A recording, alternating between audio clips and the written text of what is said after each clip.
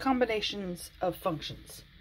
So remember that functions are just, well, the output, I should say, of functions are just real numbers. So we can divide, we can multiply, add, subtract functions. And I'm going to show you now how we do that. So I have two functions here, f of x equals x squared, g of x equals 3x minus 2. And it's really pretty easy. If you want to add two functions, you just add them. You take x squared. So in other words, f plus g of x is just f of x plus g of x.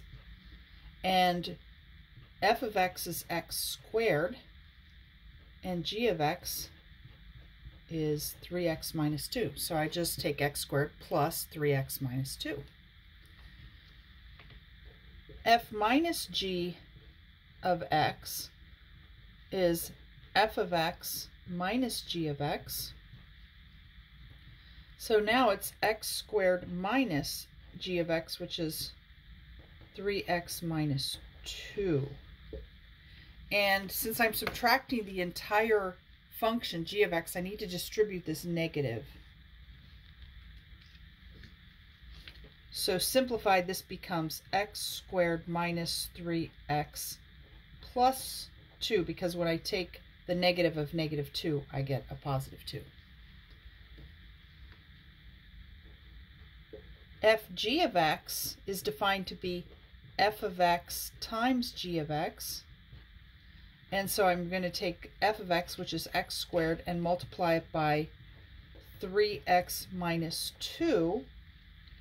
And when I distribute the x squared, I get x squared times 3x, which is 3x cubed, and minus 2x squared. Finally, we have f over g of x, and that's just f of x divided by g of x. And we have to require at the same time that we do this that g of x is not equal to 0 because now g of x is in the denominator and so we don't want g of x equaling 0. So we take our function f of x, which is x squared, and divide it by 3x minus 2. And this is going to be true for all x except x equal to negative 2 thirds. I'm sorry, 2 thirds.